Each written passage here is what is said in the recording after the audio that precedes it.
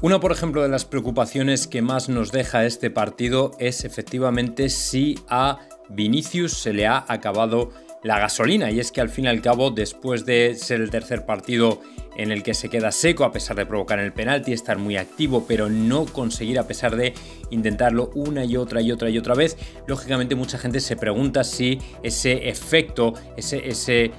esa manera de volar que ha tenido en este principio de temporada podría haber llegado a su fin. Y es evidentemente algo que se entiende, se sobreentiende porque con Vini después de todas estas temporadas en las que le has visto dejar buenos detalles pero nunca llegar a arrancar, lógicamente el miedo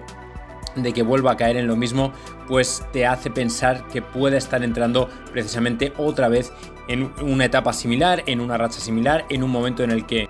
el jugador por falta de inspiración, por porque le fijan rivales, porque tiene defensas encima de él todo el rato, pues el caso es que no está inspirado y no consigue ver portería y ni siquiera consigue realmente crear peligro, pues lógicamente más allá de una acción aislada o de alguna cosa, algún destello que se pueda ver a lo largo del partido. Hombre, yo personalmente déjame que os diga que, bueno, prefiero ser paciente, ¿vale? No, no, no apretemos el botón del pánico ya eh, es cierto que llevamos ahí un par de partidos en estos dos empates un tanto, bueno, pues que no sabemos muy bien por dónde va a terminar la cosa. Es cierto que Vini ya encadena su tercer partido consecutivo sin marcar y que esto es un hecho preocupante, pero de momento, bueno, vamos a seguir apoyándole, vamos a seguir estando con él, porque si lógicamente cuando entra en su primera pequeña mala racha eh, ya le quitamos toda la confianza, pues tampoco creo que sea eh, muy positivo para él. Así que bueno, vamos a seguir confiando en que recuperará su olfato goleador y su mejor versión. Daos cuenta también de que cada día los rivales le conocen más y le van a ir poniendo más gente.